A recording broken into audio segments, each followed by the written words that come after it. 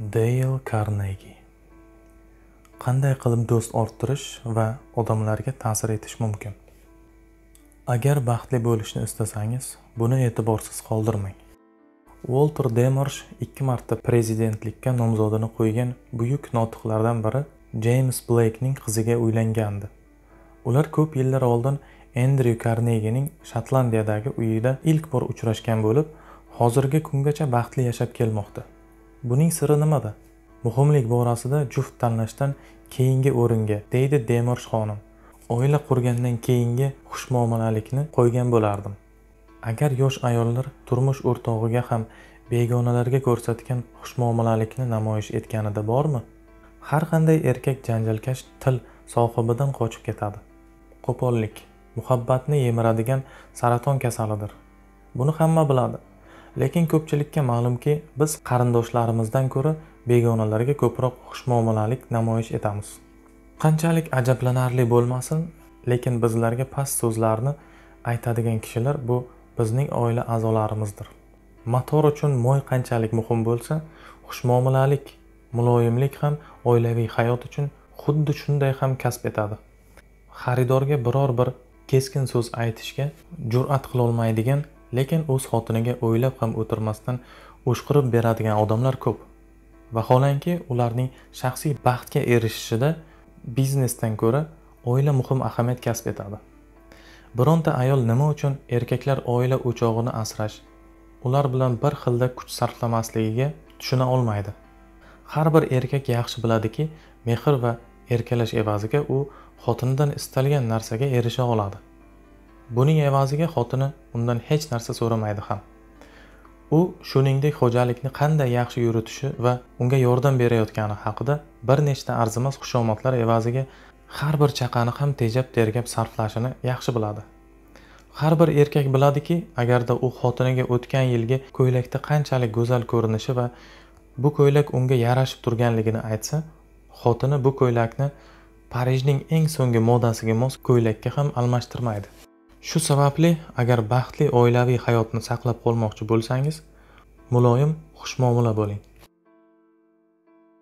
Seving va yashashga xalaqit bermang. Men hayotimda ko'plab ahmoqliklar qilgan bo'lishim mumkin degan edi dizraeli lekin hech qachon sevib turmush qurishni istamaganman. Shunday qilib u sevib turmush qurmadi ham. 35 yoshgacha bo'ydoq yurdi. Faqat shundan keyingina badavlat bir beva ayolning qo'lini so'radi. O'zidan 15 yosh katta bo'lgan beva ayol uning faqat pul tufayligina uylanishga tayyor ekanligini bilardi. Shu sababli u faqat bitta shart qo'ydi.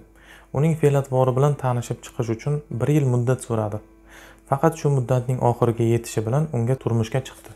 30 yil davomida meri en dizraeli uchun va faqat uning uchun yashagan. Hatto o'z boyligini ham uning hayotini yengillashtirgani uchungina qadrlardi. Uning qahramoniga aylandi.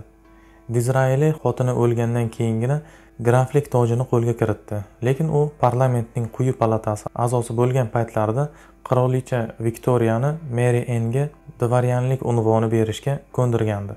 1868 yilga kelib u bikonsfild vikontessasiga aylandi.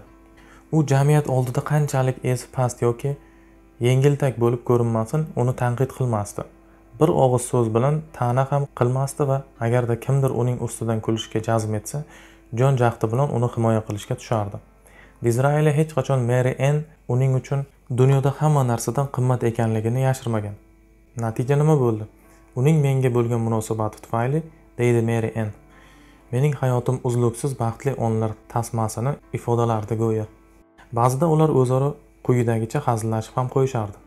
Bilasan senga faqat pullaring uchun o'ylanganman derdi dizraeli meri en esa jilmaygan holda javob berardi. Ha albatta lekin agar senda yana bir bor imkon bo'lganida menga sevib uylangan bo'larding shunday emasmi? Dizraeli xuddi shunday ekanligini tan olardi. Genri jeyn aytganiday odamlar bilan muloqot qilishda birinchi bo'lib o'zlashtirib olish zarur bo'lgan narsa bu.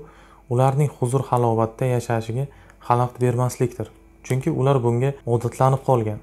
Faqat bu odatlar sizning odatlaringiz bilan keskin qarama qarshi bo'lmasa bu shunchalik muhimki genri jeyn aytgan gaplarni takrorlaging keladi.